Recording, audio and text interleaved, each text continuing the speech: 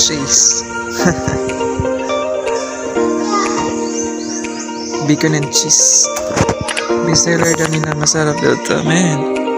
Kaya titikman natin. Hello. Ayun. Hello! Hello! Hi! Hello! Hoy! Dito pala yung gorilla.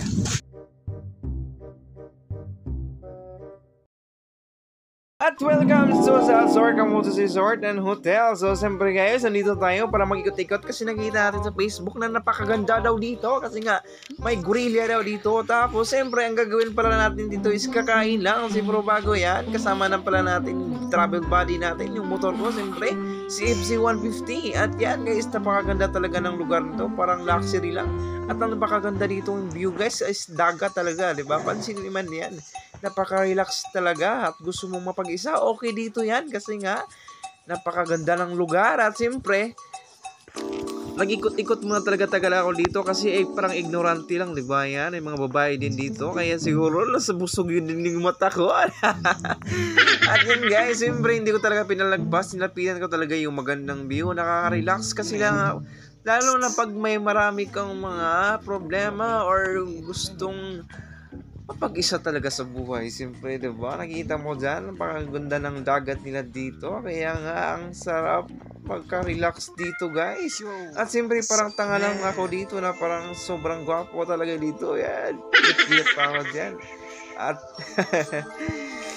Siyempre, may bula-bula yung pool nila. Kaya, siyempre, naghintay muna ako. Kaya, nag-order muna ako ng pizza para naman makakain tayo ngayon. Kasi nga, wala pa tayong tanghalian dito, guys. Kaya, gutom na gutom ako at gigil na gigil. Siyempre, wala akong ginagawa dito. Kaya, minagic ko na talaga, talaga yung pizza para naman dumating agad. Ayan, napansin niyo, sobrang sarap, di ba? Bacon and cheese. Siyempre, Cheese. hindi natin patatagalin to. Kaya nandito na, titikman na natin the moment of truth. Bacon and cheese. Titikman na masarap daw to, man. Kaya titikman natin. Hello. At yun na guys, hindi na ako nagpapigil. Inamoy-amoy ko pa talaga yung sauce para naman talaga kung maanghang ba talaga yung sauce nila o hindi ba. Pero ayoko talaga sa manghang kahit kunti-kunti lang yung nilalagay ko dyan. Pansin mo yan guys, kunti-kunti lang para naman siguro malasap na din ang sarap ng pizza na bacon and cheese na pinaka the best seller daw nila. Kaya tinikman ko na talaga tinirong pabigil kaya binilisan ko kasi sobrang gutom ko na talaga dito guys. At siyempre ninamnam ko talaga kung gaano ba talaga gaano kasarap gaano ka namnam ang pizza nila dito guys.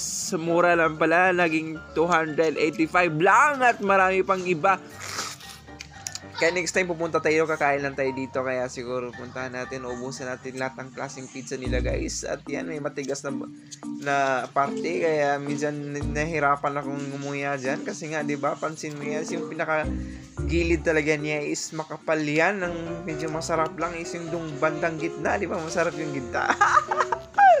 Guys, grabe. Sobrang sarap talaga dito, guys. Kaya, binilisan ko talaga ng maisip. Di ba, nag-isip noon ako na pwedeng gagawin sa buhay.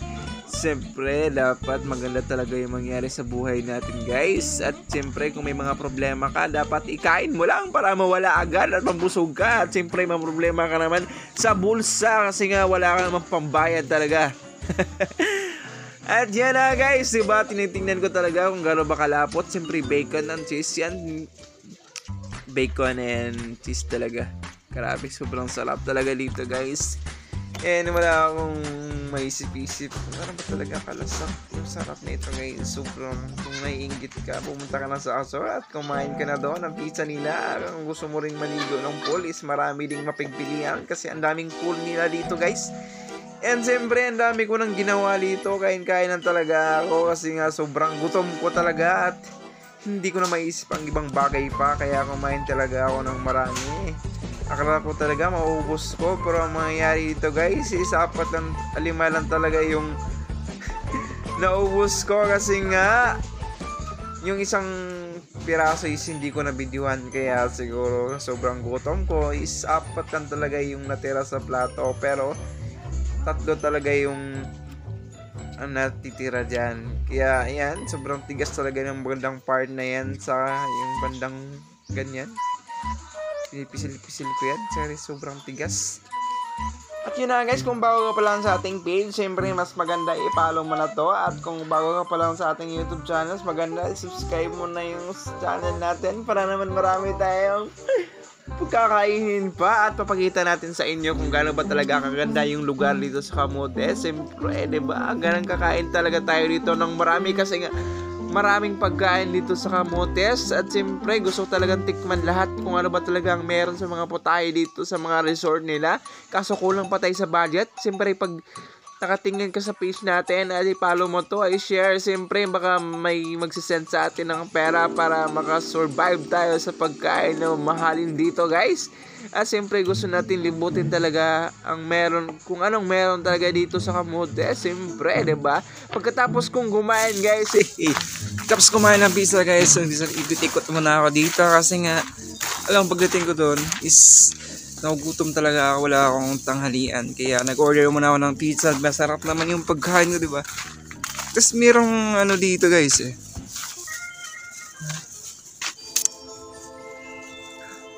Di ba? And this is Azure. Azure, Azure, Azure. So, An parang tanga na ako diyan, guys. Eh, Tingin-tingin pa ako sa sarili ko. Kaya parang tanga talaga ako dito, guys. Di ba? May malaki unggoy dito. Titingnan natin kung nasaan yun. ah.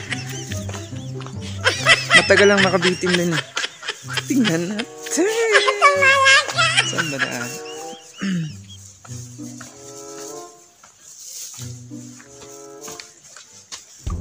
Wow. Azor guys, medyo okay naman dito.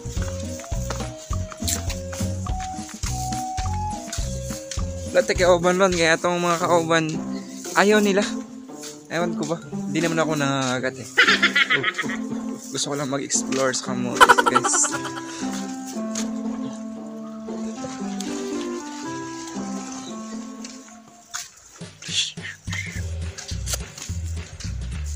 Tinake out ko pala yung pizza kasi di ko naubos, mas busog na ako. Ano, limang piraso yung naubos ko kaya okay na siguro yun. Sulit na yun. Hehe.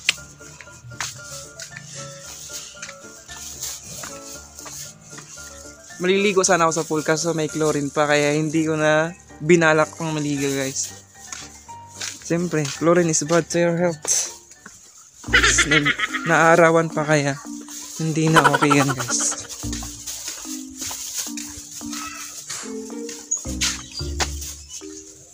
Nagpakahirap ako dumaan. Hindi. Meron pa.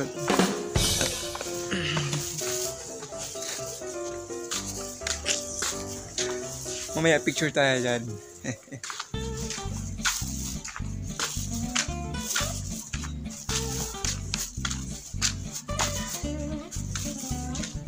so, hanapin ko yung gorilla eh. Si King Kong nandito yun.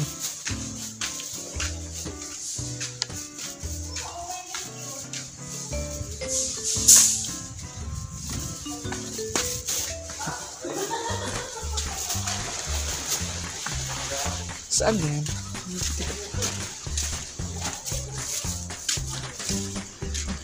Where is she? Yes.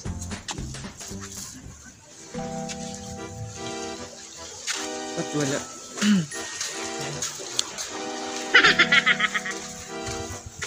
ah, sorry, sorry, explore dito guys.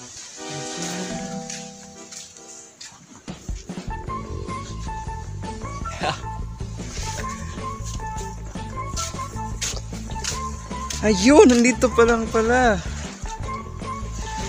Ayun. Hello! Hello! Hi! Hello! Hoy! Dito pala yung gorilla. Tingnan natin. Basag oh. Hindi pa nila naayos men. Okay lang yan. Tingnan natin si King Kong dito. Nakasabit lang pala. Kaya hinahanap ko talaga dito sa Azore. Dito guys is makinakita akong John Mar na ah, bangka dito. Siyempre may mga fans. Parang may mga fans tayo dito guys. Ayan, may mga kumangaway-kaway kasi dito. Hello! Ayan.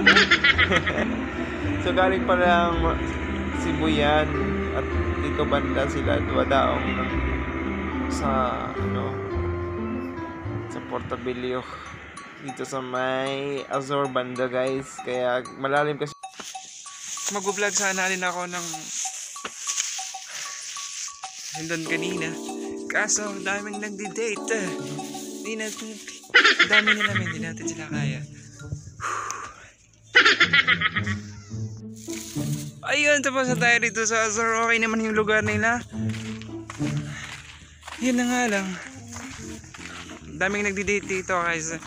Naikot ko ba? Kita rin single rin. So yun lang guys, salamat sa panonood at God bless. I'll see you to my next vlog and don't forget to follow our page. Ayun lang and bye bye. Pizza na nito pa. Yes.